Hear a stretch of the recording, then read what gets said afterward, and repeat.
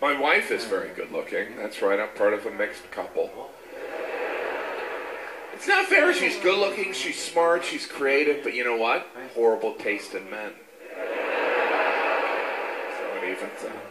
I'm happily married, but I would say once a week I catch my wife give me a look like, I'm gonna have to let you go. Because I disappoint her constantly. I do things that annoy. Like, here's something I do that annoys my wife I use the bathroom. I know, I shouldn't, right? I get in trouble for not telling her I'm going to use the bathroom. You just disappeared. Where'd you go? I, didn't know I needed a hall pass. I also get in trouble for telling her I'm going to use the bathroom. Uh, I'm going to use the bathroom. Again?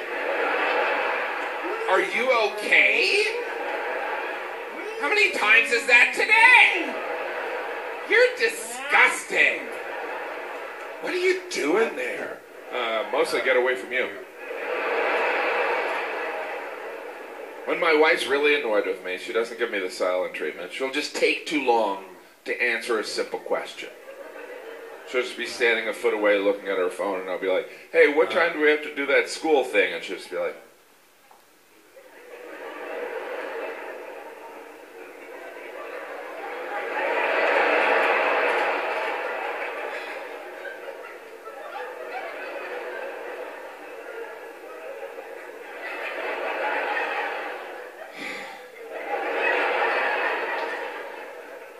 It's in the calendar.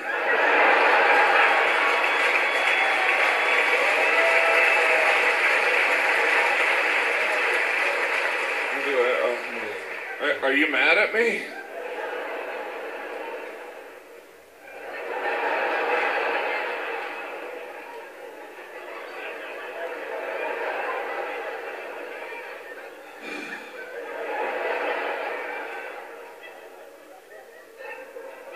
No.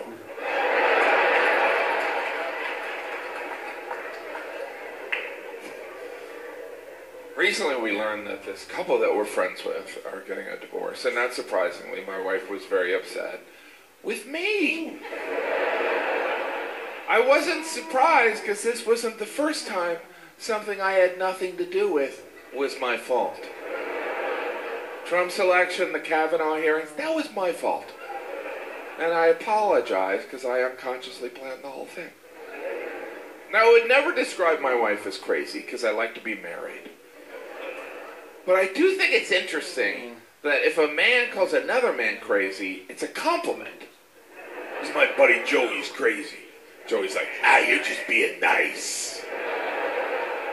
But if I was like, this is my wife Jeannie, she's crazy. I even get nervous saying that.